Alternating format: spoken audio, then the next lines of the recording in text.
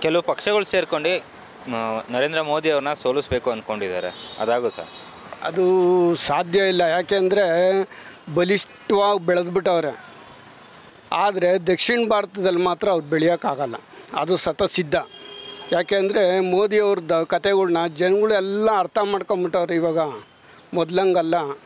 ಯಾಕೆಂದರೆ ಬಡವ್ರ ಬಗ್ಗೆ ಅವರು ಸ್ವಲ್ಪನೂ ಕಾಳಜಿ ಇಲ್ಲ. ರೈಲ್ವೆ ಸ್ಟೇಷನ್ನು ಏರ್ಪೋರ್ಟ್ಗಳು ಎಲ್ಲ ಇವ್ರಿಗೆ ರಿಲಯನ್ಸ್ ಅವರು ಕೊಟ್ಬಿಟ್ಟವ್ರೆ. ಕೊಟ್ಟು ಏನು ಮಾಡಿ ಸಾಧನೆ ಮಾಡಬೇಕು ಹೇಳಿ. ಅದರಿಂದ ಏನು ಉಪಯೋಗ ಅಂತ ಹೇಳಿ. ನನಗೆ ಅದನ್ನೇ ನಾನು ಕೇಳ್ತಾ ಇರೋದು.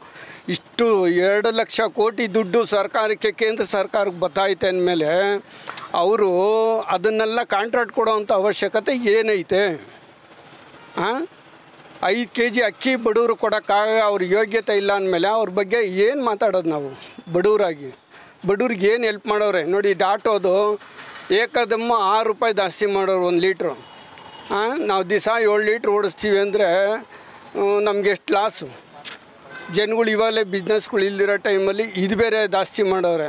ನಾವು ಮೋದಿ ಬಗ್ಗೆ ಗೌರವ ಇಕ್ಕಂಡು ಇಷ್ಟು ಇಷ್ಟು ವರ್ಷ ಇನ್ನು ಗೌರವ ನಮ್ಗೆ ಕಮ್ಮಿ ಆಗೋಗ್ಬಿಟ್ಟೈತೆ ನಾವು ಇನ್ನು ಹಾಕೋಕ್ಕಿಲ್ಲ ಇನ್ನು ಮುಂದಕ್ಕೂ ಓಟ್ ಹಾಕಲ್ಲ. ಬಿ ಜೆ ಪಿ ಕಾರ್ಯಕರ್ತನಾಗಿ ಹೇಳ್ತಾ ಇದ್ದೀನಿ ನಾನೇನೆ.